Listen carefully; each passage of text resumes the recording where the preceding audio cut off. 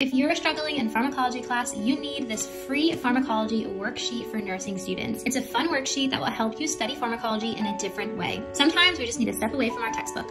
It has fun matching games and quizzes. It covers cardiac, respiratory, pain management, anticoagulants, insulin, suffixes, antidotes, and so much more. You can find the link to this free guide in my bio. Happy studying, future nurses!